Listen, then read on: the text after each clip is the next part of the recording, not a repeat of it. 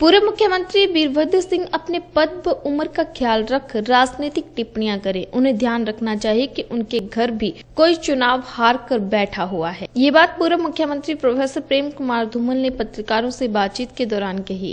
प्रेम कुमार धूमल ने कहा कि लोकतंत्र में चुनाव महत्वपूर्ण होते हैं और मतदाता अपना निर्णय लेते हैं जो सबको स्वीकार होता है। चुनाव जीतना या हारना एक स्वाभाविक प्रक्रिया है जो मतदाताओं के हाथ में होती है। कुछ लोग चुनाव जीत कर भी घर बैठ जाते हैं और कुछ लोग चुनाव हार कर भी जनता से संपर्क बनाए रखते हैं और जनता के बीच ही रहते हैं।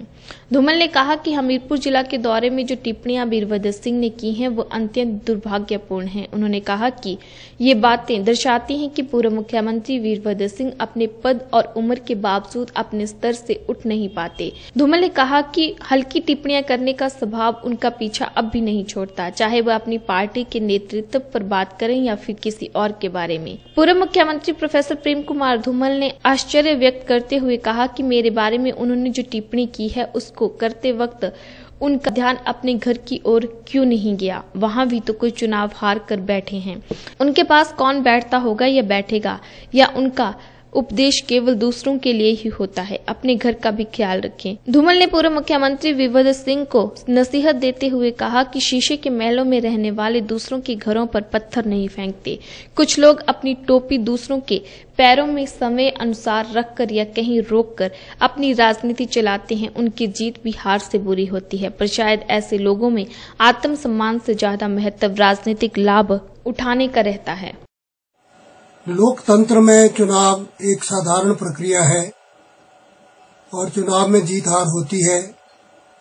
मतदाता निर्णय करते हैं किसको जिताना है, किसको हराना है। कई बार लोग जीतकर भी घर बैठ जाते हैं और कई बार लोग हार कर भी सक्रिय रहते हैं, जनता के बीच रहते हैं, लोगों के साथ रहते हैं। पिछले दिनों पूर्व मुख्यमंत्री श्री वीरभद्र सिंह हमीरपुर के दौरे में थे तो उन्होंने अनेकों टिप्पणियाँ की। मैं हैरान होता हूँ कि व्यक्ति अपनी आयु और पद की गरिमा को भूल जाते हैं और किस तरह की टिप्पणियाँ कर देते हैं। उनको मैं कहना चाहूँगा कि याद रखिए, आपके घर में भी कोई चुनाव हारा है, उसके पास कौन बैठता है, कौन होगा उसके पास? उसे भी आवश्यकता होगी किसी की। तुम बाहर घूमते रहोगे तो वहाँ कौन होगा? इसलिए इस तरह की टिप्पणियाँ ना करें। जो शीशे के महलों में रहते हुए दूसरों पे पत्थर नहीं मारा करते। और उपदेश केवल दूसरों के लिए नहीं होते, स्वयं अपने ऊपर लागू करिए। हम जनता के हैं, जनता के बीच हैं, लोगों के बीच रहते हैं। लोगों की समस्या का समाधान करते हैं। और आप जैसी टिप्पणियों पर भी ज़्यादा परवाह नहीं करते।